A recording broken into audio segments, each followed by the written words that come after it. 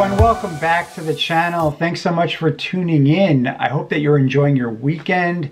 Today I am continuing my review of Karl Fulves' magic magazine, The Chronicles, and I am specifically looking at issues number 12 to 18. I've hand-picked a series of effects that I think you're gonna like. A little bit of everything, some card magic, some mentalism, a topological effect, even a variation of a Max Maven effect. So I think you guys are gonna like what I have picked out for you guys. As usual, I'm gonna try to demo the effects for you here. Before we get started, I am gonna mention that I'm gonna be giving away this issue of the Chronicles, issue number 16 to a lucky winner. To participate, all you have to do is leave me a comment below. And as per usual, I will randomly select one lucky person and then I will contact you after I announce that you've won next week and I will be sending you this issue of the Chronicles, which is issue number 16. All right, let's get into today's review. Um, the first effect I want to go over is a, an effect by Dai Vernon that you can find in the Chronicles, issue number 12. It's called Instant Oil and Water. It is a very easy to perform oil and water routine that doesn't use any difficult sleight of hand, and you can get right into it from a shuffled deck and use. Let's take a look at it now. All right, here's what Dai Vernon's Instant Oil and Water looks like. I really like it because you don't have to move quick. It's really easy to perform. You show four red cards, you show four black cards. You explain to the spectator that we're gonna alternate them. So we're gonna start out by putting down a black card, then a red card, a black card, a red card, a black card, a red card, and finally a black and red card. So they clearly saw you alternating them. Tell them it takes a moment just to wait, and we're gonna deal off those top four cards nice and cleanly here. And you can show them that we've got a red card and another red card. And yeah, two more red cards, which means we've got one, two, three, and four red cards which means that over here we should just have as well one, two, three, and four black cards. Very simple to understand. Of course, the whole thing can be repeated. People are going to want to see it again, so you show them and say, look, we're going to take a red card, then a black card, a red card, and then a black card, a red card, a black card, and finally the last red and black card. We've alternated them again. Just wait a moment. And here we're just gonna deal them face up so I can show them to you. And you can see that we've got here clearly all the black cards there because here in my hand I've got all the red cards. And that's it. It's really just that simple and quick. All right, so you guys took a look at instant oil and water. And uh, this is a fun little oil and water effect that I've gotten good reactions from. But stay tuned because I'm going to be going over another oil and water routine by the end of this review that you may even like even more. So moving along to the next magazine, issue number 13, we have an effect that's called Red Blues, and this is a variation of Max Maven's Wave, although it is ungimmicked and ungaffed. I did go over this and I did demo this on my review of Max Maven, although I'm going to show you guys what it looks like from the same demo so you can see, for completeness sake, you can see what it looks like. Let's take a look at it now. It does not use any gaff cards and it's extremely simple to perform. There's no difficult sleights. You approach a spectator and you tell them that you have an envelope with four cards in it, and one of them is distinctly different from the other ones. You tell them to choose a color red or black. Let's say that they say red, and then you say, okay, do you want the hearts or do you want the diamonds? Which one do you prefer, hearts or diamonds? Your choice, free choice. Let's say that they said in this case, uh, hearts. So you say, check this out. This is what's really weird is that in this packet, the only card that's face up is this Ace of Hearts. So I knew you were going to choose Hearts. In fact, it's the only card that has a different color back to it. And if we look at the other cards, the other cards, they're actually all Kings. That's it. All right, so that is Red Blues. And again, like I said before, if you're looking for an ungimmicked or ungaffed wave type effect, then this may be the effect for you. It is a favorite of mine, which is why I mention it here. Moving along to the next issue, issue number 14, we have a monumental effect. I call it that because I've used it so many times over the years. And this is Edward Victor's 11 card trick.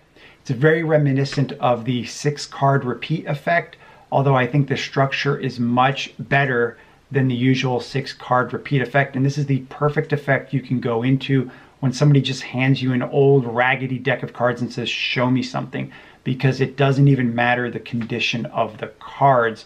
The actual move that you have to learn is so simple that you'll never ever get called out on it. And it's so much fun to perform just because of the reactions you're gonna get and the laughs from people. And that again goes back to the structure of the routine. Let's take a look at it now. All right, here's the 11 card trick. You have the spectator deal out 11 cards into your hand. You explain to them that you're going to show them a trick where cards go from one hand to the other, but we need to make sure we have 11 cards. So you tell them we're just going to count these just to make sure. So you start counting them one, two, three, four, five, six, seven, eight, nine, and 10. You say, I've only got 10 cards. I need 11. So you ask them to give you another card. They're going to give you another card and then you say all right let's make sure that I've really got 11 cards. So you count again. One two three four five six seven eight nine ten. You're like I've only got 10 cards. I need 11 At this point the spectator is going to probably start laughing because it's starting to seem absurd. You ask for another card and you say let's just make sure one more time. Let's count. So you count again. One, two, three, four, five, six, seven, eight, nine, ten. Now they're not going to believe you, so you're going to hand them the cards and tell them to count them. They're going to count them slowly. One, two, three, four, five, six, seven, eight, nine, ten. Unbelievably, you have ten cards. So you tell them, you know what? I got an idea. Give me three more. If you give me three more, now I've got 13 and then if I give you back two, I should have now 11. So you say, let's just make sure. So you start counting again. One, two, three, four, five, six, seven, eight, nine, 10, 11, 12, 13. Oh my God, now you got 13. So you say, listen, let me give you two back. That should leave me with 11. Let's just try one more time here. One, two, three, four, five, six, seven, eight, nine, 10. Oh wow, we've got 10 again. So you say, give me one more card. So they give you another card and you go, oh my God, this is crazy. Let's go, let's go nice and slow here. Say one, two, three, four, five, six, seven, eight, nine, 10, and 11. All right, we've got 11 cards. So you tell the spectator you want them to deal out six cards into one hand and five in the other. So they're gonna deal out one, two, three, four, five, six. And then over here, they're gonna deal one, two, three, four, there's no fifth card, which means that you've only got 10 cards again. So you tell them, you know what, you can't do the trick with just 10 cards. And that's what the effect looks like. All right, moving along to the next issue, issue number 15, we have the UCLA move, which is the Utility Center Lift Action move. Let's take a quick look at it. Here is the UCLA move or the Utility Center Lift Action move. And um, I'm going to show you actually the idea that in the Chronicles, after the spectator has shuffled the deck, you're going to take it back and you're going to take out a card sort of as a prediction of sorts and you're going to say look I'm going to go like this until you say stop. Wherever they say stop you're going to say all right you stop me right here. You're going to turn it over you're going to show them right where they stopped. You're going to take that card and say look you stopped me on this black 10 but I put on the table actually a red ace but if I go like this, now it turns into the other red ace. And that's it. That's what it looks like. It's really simple and easy, but maybe something you want to use. All right, the next effect I wanted to review for you guys is called Paradox, and you can find that in issue number 18 of the Chronicles. This was put out by Mitsunobu Matsuyama. This is a topological card effect that doesn't use any moves or any sleight of hand because the card does everything for you. Now I had created a really nice one. I took my time. I made up a really nice one that I have in a plastic case, but I don't remember where I put it. So I wanted to show you guys what it looked like. So I made up another card really quick to show you what it looks like. There is a little bit of arts and crafts if you want to do this yourself. Although I can tell you that it took me like 10 minutes to make this card. So that's how long it will take you to make it. Let's take a look at it, what it looks like right now. All right, here is what Paradox looks like, and I'm putting this on a white sheet just so it's easier to see it. Um, and actually, I had a better version of this, but I couldn't find where I had it because it's been a couple of years since I've used it.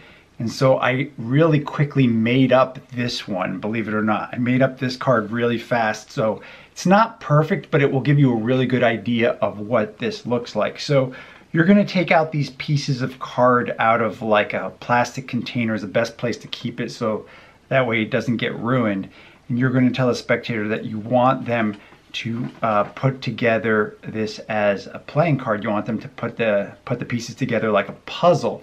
And so what they're going to do is very quickly, since there's only five pieces, it shouldn't take them more than a couple of seconds to figure out where all of the pieces go. And they're going to see uh, very easily that they all fit together to make, obviously, the playing card. This The little tiny piece, of course, is going to go here in the corner.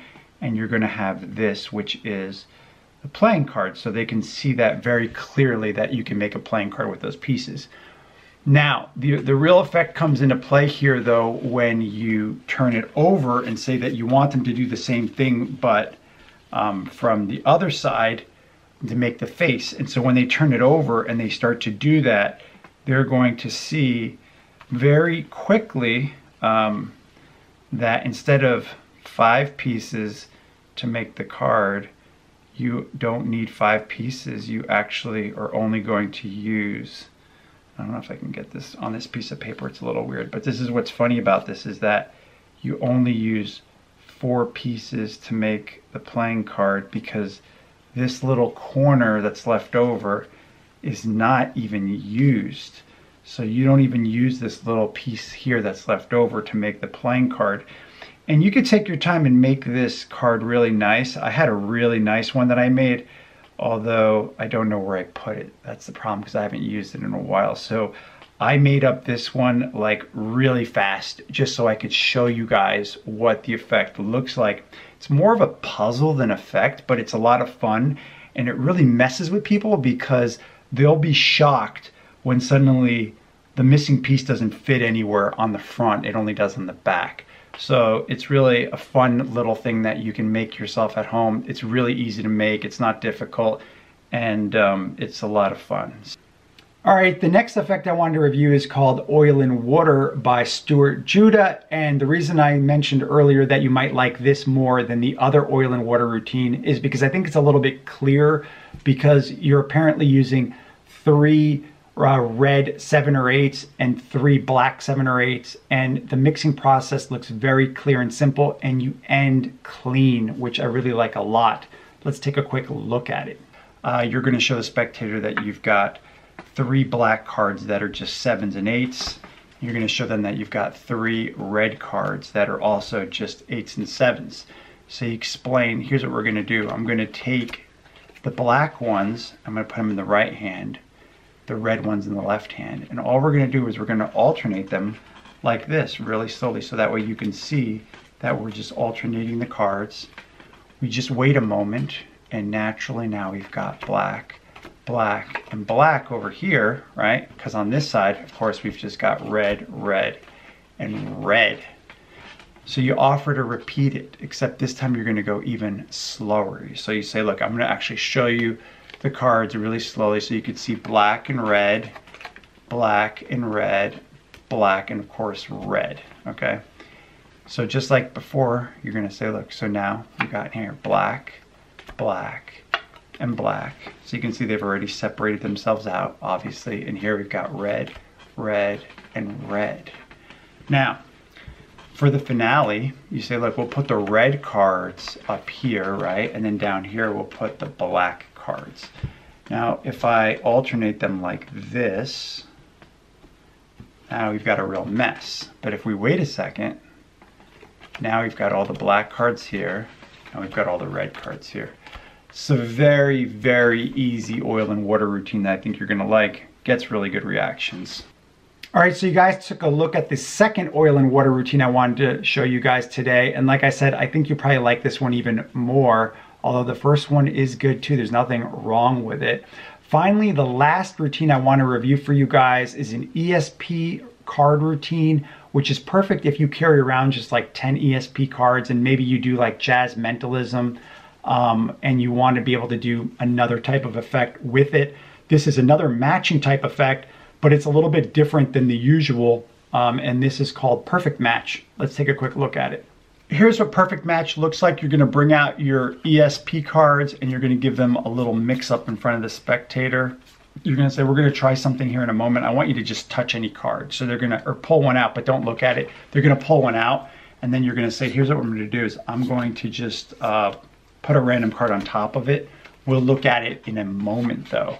Uh, what I want you to do now is this, take these cards and just give them a cut somewhere. So they cut the pack wherever they want to. You can offer the top card or the bottom card.